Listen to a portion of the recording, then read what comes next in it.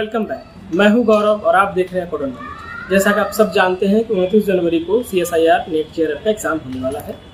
Notification आ गया है तो अगर आपने अभी तक शुरू नहीं की है तैयारी, आपके पास ये दो महीने का समय है। तैयार हो जाइए और तैयारी शुरू